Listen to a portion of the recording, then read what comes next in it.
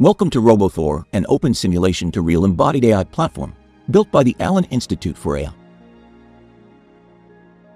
RoboThor consists of 89 apartments.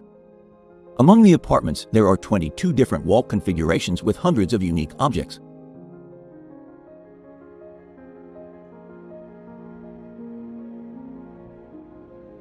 Fourteen of our apartments exist in both simulation and real life.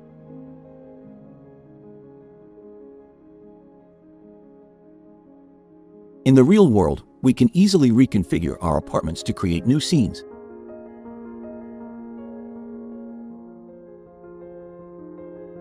For embodied AI tasks, we use a Locobot and allow researchers around the world to test their models remotely in our real environment